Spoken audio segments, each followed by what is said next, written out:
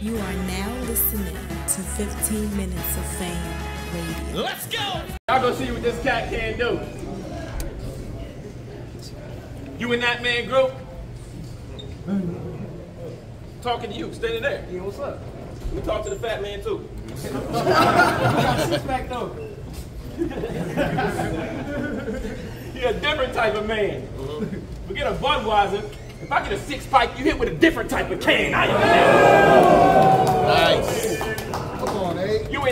man group? He over here talking about how I punched my hand. Oh, you got punched by Caddy Ron. Probably somebody, probably that man too. then you said, I turned the other cheek. Against Caddy Ron, you turned the other cheek, and he slapped you with that hand too.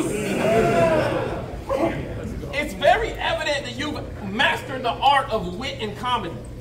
But we don't ever hear pain or struggles in your bars because you never lived in poverty. Your father is a Harvard grad, award winning college professor who taught kids astronomy. He's authored 14 leather bound books, and their house always smells of rich mama. Jeez. 15 minutes of fame. You are now listening to 15 Minutes of Fame Radio. Let's go!